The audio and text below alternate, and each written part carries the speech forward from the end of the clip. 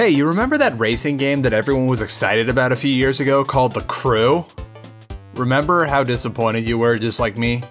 Yeah, that was a sad weekend.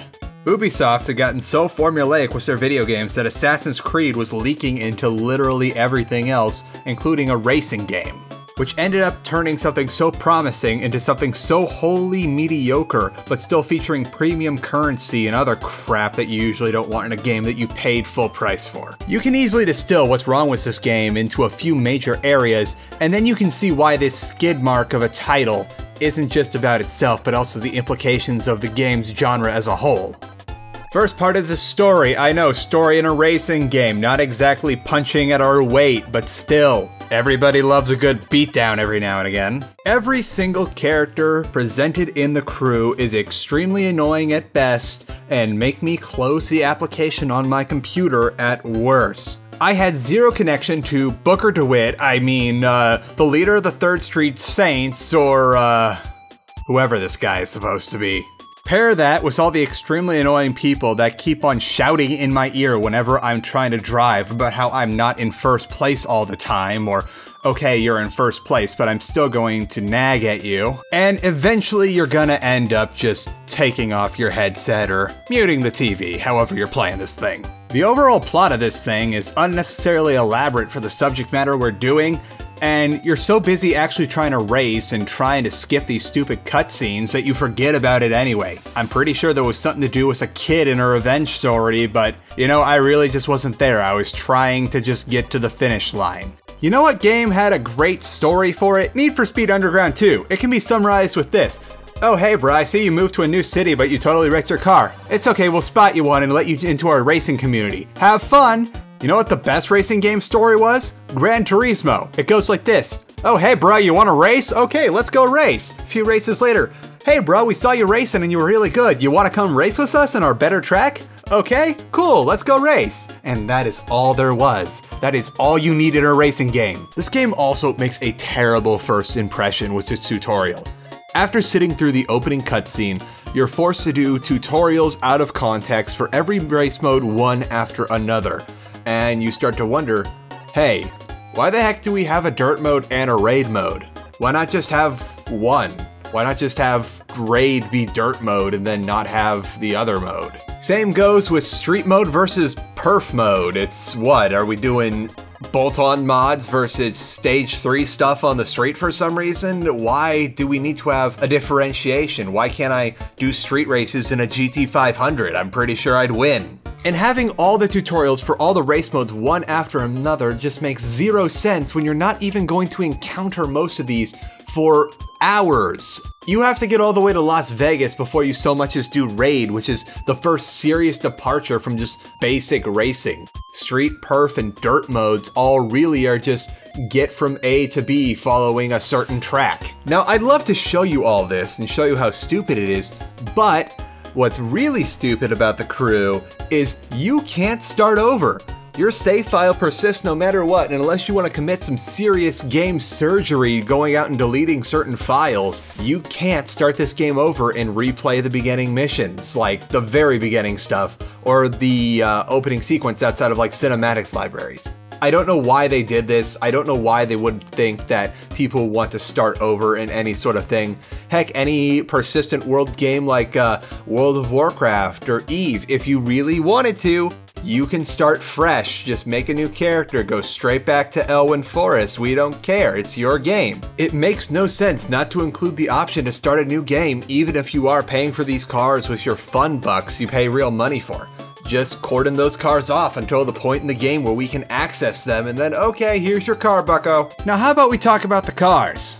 So, you get to pick your own car when you first start out, and then you can buy other ones with money if you don't need them to participate in a new form of race. This is all fine and good, especially since you can end up tuning a car anyway to the point of where you never need to change your starting vehicle to get through the game, except how stupid the upgrade system is. You get upgrades either by winning races, which is plausible, or for doing random challenges in the middle of the road. Okay, how on earth does doing a moose test in excess of 120 miles an hour on the freeway do anything other than destroy my alignment? I'd almost be willing to forgive a few of these if they were a bit better done. For instance, the outrun or driving a straight line would be great if the cars just handled a bit better. And then there's a horrible faux pas that are the jump challenges.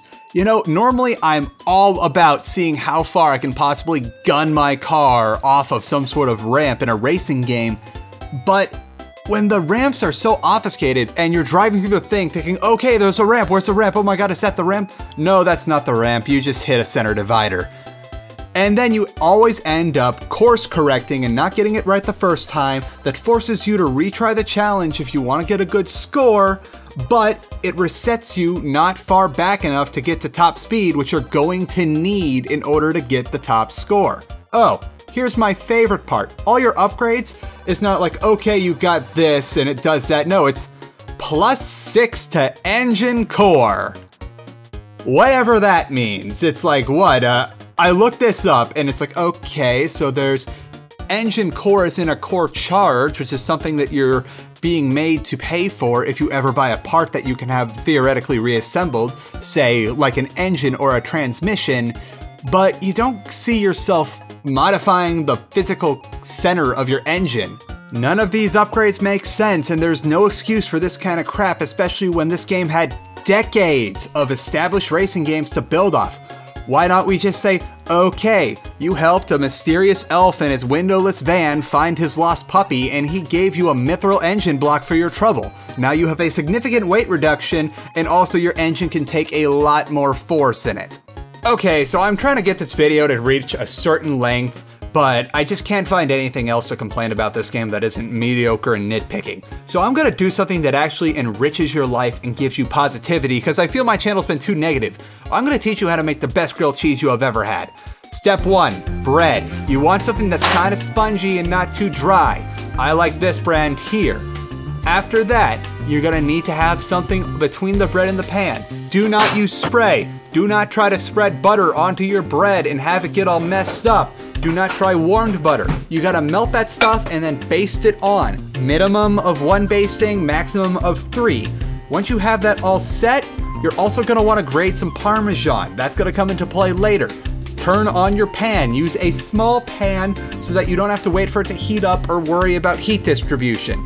Only one sandwich at a time, please. Now that we've got our bread and our Parmesan ready, it's time to get the actual cheese. I'd suggest either a mild or medium cheddar, or if you're in a bind, American. You want something that's not too intense, but also has a nice low melting point so you can get that gooey effect if you're shooting for it. Okay, here's what we do. We take our buttered bread, we cover that side with some butter with some Parmesan, then we slap that down on the pan. We don't have to worry about spray, the butter's gonna do its job, and the leftover is going to give you a wonderful golden crust. Now, while we're having the bread heat up, put your cheese on top of the bread and then put the other slice on there.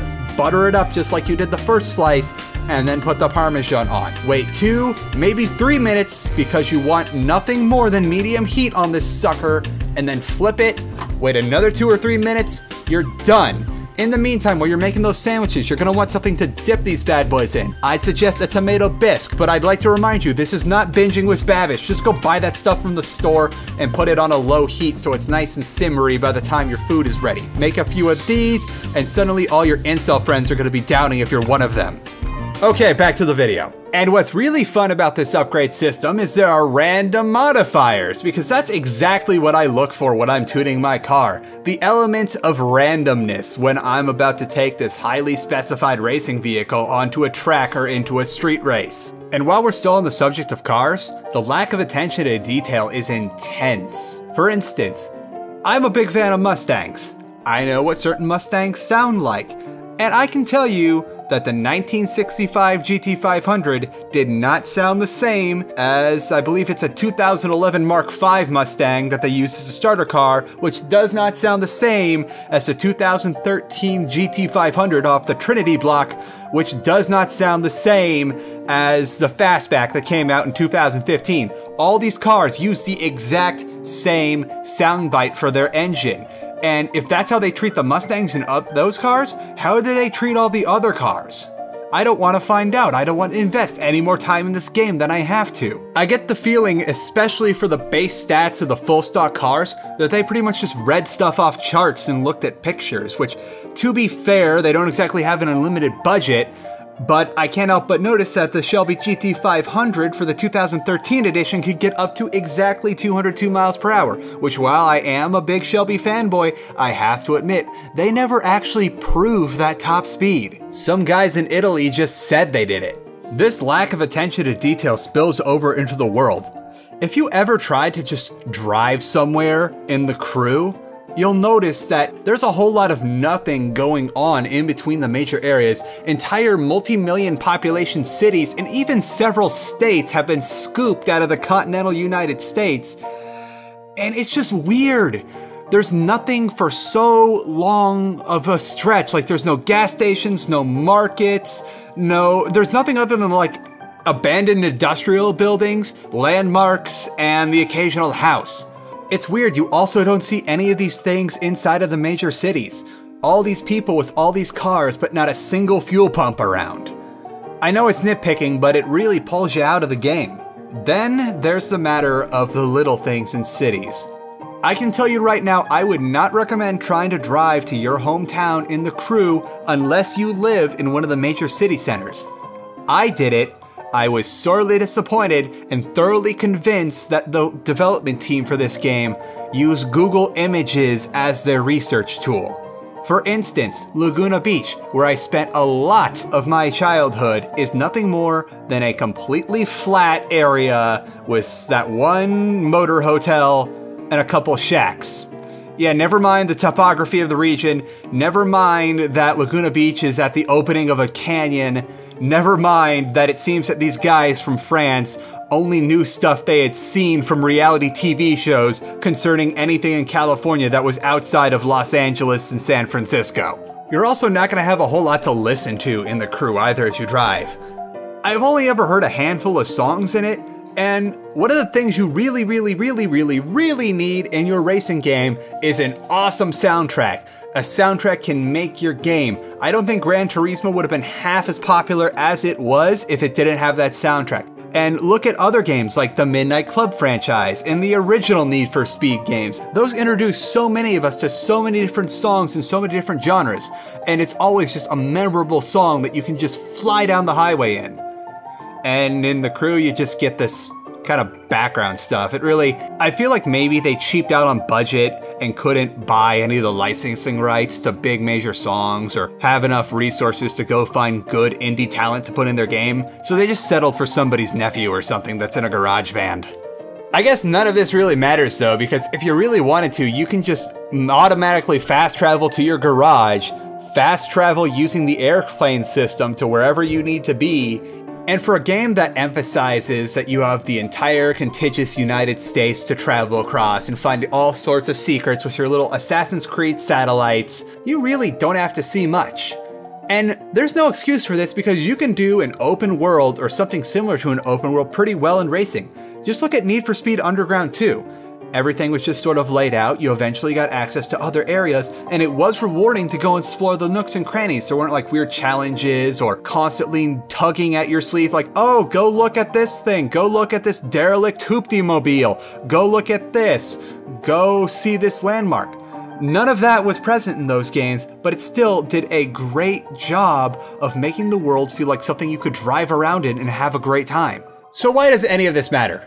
Why does this crappy, very disappointing, pay to play and then pay some more for some cars that we might have been sponsored to put in matter?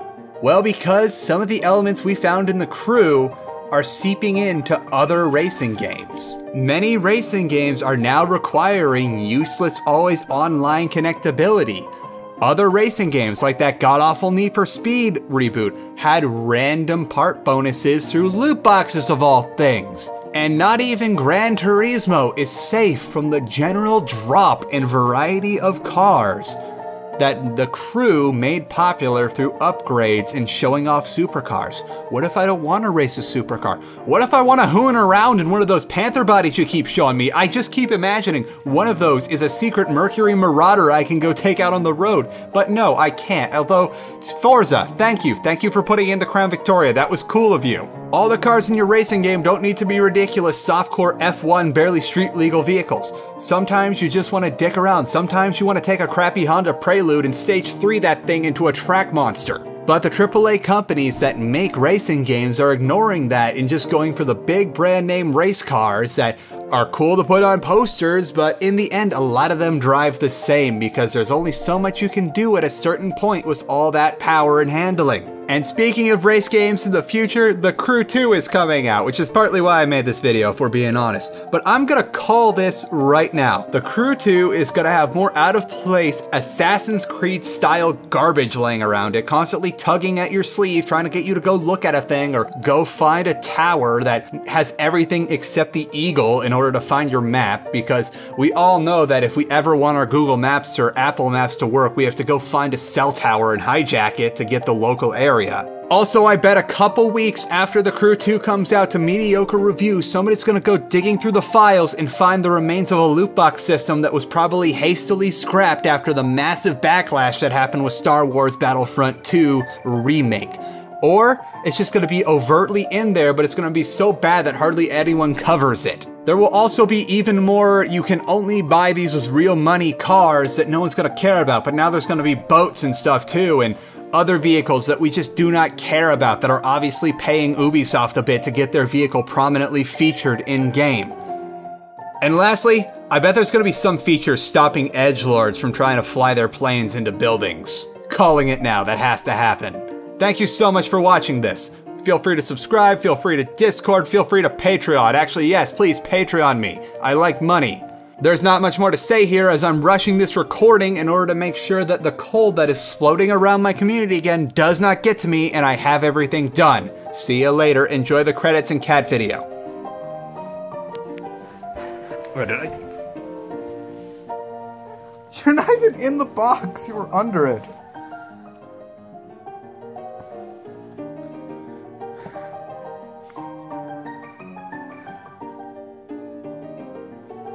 What are you doing?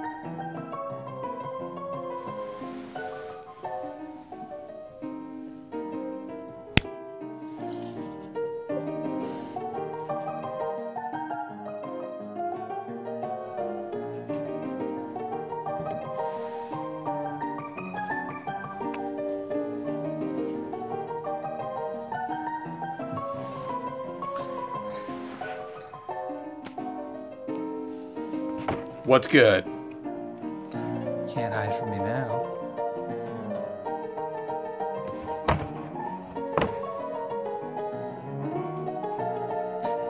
You know, you just mess around with stuff like this, but we buy you actual toys, you know?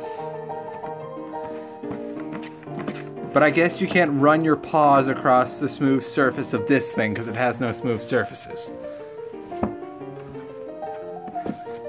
At least you're actually getting inside the box now. You know I'll just leave you to it.